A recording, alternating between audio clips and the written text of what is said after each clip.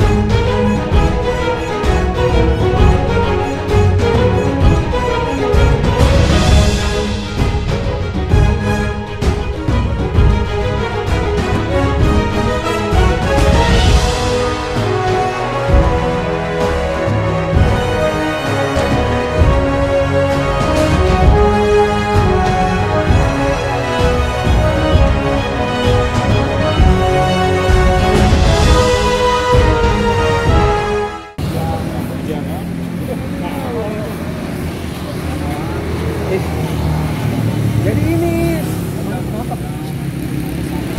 Nah, jadi kalau berdasarkan cerita dari Pak Chandrian, bangunan di belakang kita ini dulu bekas makam dari Peter Albert Penn.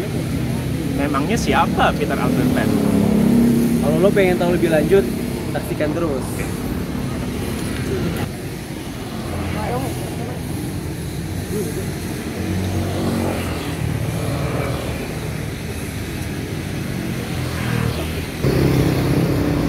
Nah, cuy, jadi ini sekarang kita dalam perjalanan menuju Pasar Pecah Kulit.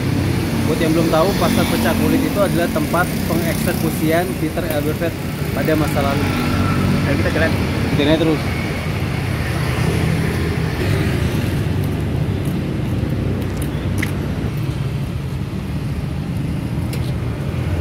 Kita udah mau nyampe di pasar pecah kulit tuh.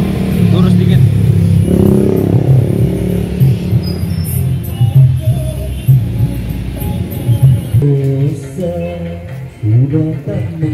Nah, ini kita udah sampai di pasar pecah kulit. Jadi pecah kulit ini adalah nama sebuah jenis pengeksekusian yang dipakai oleh Belanda untuk menghukum eh, para pemberontak. Salah satunya adalah Peter Elberfeld. Lo bayangin dulunya di sini ada sebuah lapangan dan eksekusi dilakukan di tengah lapangan dan ditonton oleh seluruh masyarakat eh, yang ada di situ. Nah, jenis eh, eksekusi ini adalah dan kedua kilo itu diikat dan dipasangkan ke masing-masing empat kuda dan keempat kuda itu lari ke segala jenis penjuru akhirnya tangan dan kaki lu bisa putus di situ ngeri banget. Jadi langsung kepisah jadi empat gitu ya? Iya.